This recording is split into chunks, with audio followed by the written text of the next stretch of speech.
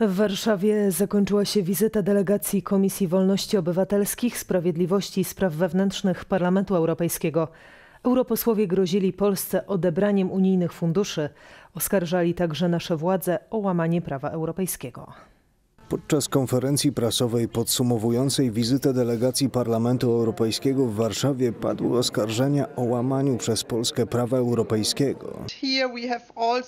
Słuchaliśmy skarg na to, że podstawowe prawa takie jak równość, niedyskryminacja i prawa z tym powiązane nie są przestrzegane, a szczególnie jeśli chodzi o niektóre grupy migrantów, kobiet, ale również społeczności LGBTQI.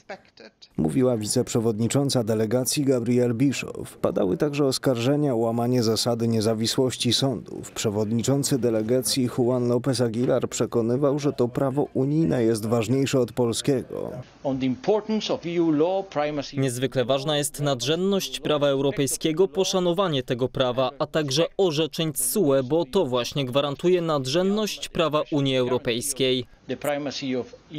O karach finansowych dla Polski mówił wprost wiceprzewodniczący delegacji Otmar Karas.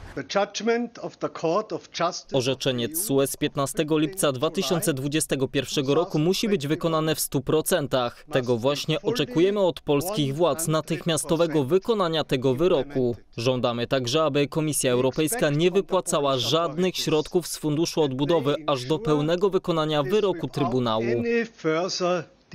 Po wizycie Komisji Wolności Obywatelskich, Sprawiedliwości i Spraw Wewnętrznych powstanie specjalny raport i rekomendacje. Uważamy, że Rada Europejska musi pójść do przodu. Wysłuchanie to za mało. Potrzebne jest uruchomienie artykułu 7. Komisja przyjechała kompletnie nieprzygotowana, nie znając porządku prawnego w Polsce. Co więcej, jej przedstawiciele mieli już z góry założoną tezę, że w Polsce nie ma praworządności, podkreśla europoseł Solidarnej Polski Beata Kempa. Szukała i poszukała sobie takich, którzy tym tezom e, e, odpowiadają. Na spotkaniach pojawili się m.in. liberalno-lewicowi aktywiści, przedstawiciele środowisk LGBT czy sędziowie sprzeciwiający się reformie wymiaru sprawiedliwości. Pan López Aguilar powiedział jasno i wyraźnie, że jest pod wrażeniem świadectw. Jeżeli takim świadectwem i takim wrażeniem ma być świadectwo pani, która sprofanowała nasz najświętszy obraz, obraz Matki Bożej Częstochowskiej, pamiętamy w tej tęczowej e, aureoli, no to ja e, uważam, że jeżeli tego typu aspekty będą w sprawozdaniu, które ma być uwieńczeniem, e, to to sprawozdanie będzie absolutnie skrajnie tendencyjne, będzie miało uzasadnić, że podobno w Polsce nie ma praworządności. To komisja polityczna, która legitymuje się małym mandatem do oceny sytuacji w Polsce, wskazuje politolog Marcin Drewa.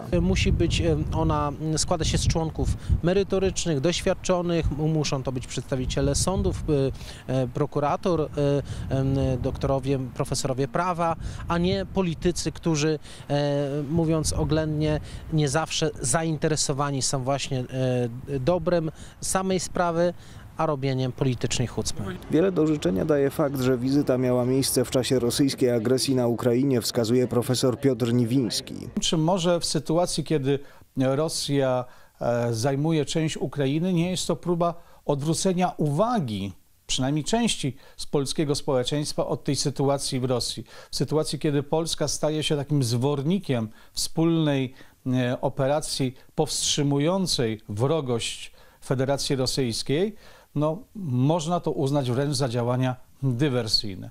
Nie wiem, czy jest to tylko przysłowiowa głupota polityków, czy jest to jednak działalność na rzecz Federacji Rosyjskiej. Wielu ekspertów podkreśla, że w obliczu wydarzeń na Ukrainie delegacja powinna zostać odwołana.